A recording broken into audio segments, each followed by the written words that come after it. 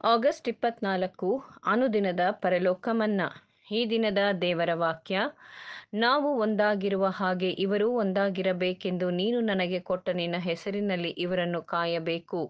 ಯೋಹಾನ ಹದಿನೇಳು ಹನ್ನೊಂದು.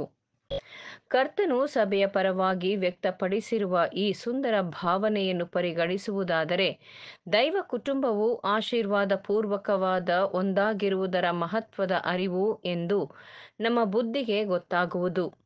ಈ ಒಂದಾಗಿರುವುದು ಒಂದು ಉದ್ದೇಶದಲ್ಲಿ, ವಿಶ್ವಾಸದಲ್ಲಿ, ಸಹಾನುಭೂತಿಯಲ್ಲಿ, ಪ್ರೀತಿಯಲ್ಲಿ ಮಾನ ಮರ್ಯಾದೆಯಲ್ಲಿ ಹಾಗೂ ಎಲ್ಲವನ್ನೂ ಒಂದಾಗಿ ಪಡೆದಿರುವುದು ಆಗಿದೆ.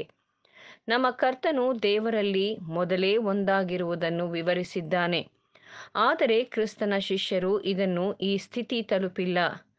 ಈ ಒಂದಾಗುವುದನ್ನು ತಲುಪುವ ಗುರಿಯನ್ನಿಟ್ಟು ಅದನ್ನು ಪಡೆಯಲು ನಾವು ಆಶಿಸುವವರಾಗಿರಬೇಕೆಂದು ನಮಗೆ ಕರ್ತನು ಬೋಧಿಸಿದ್ದಾನೆ. ಆಮೇನ್.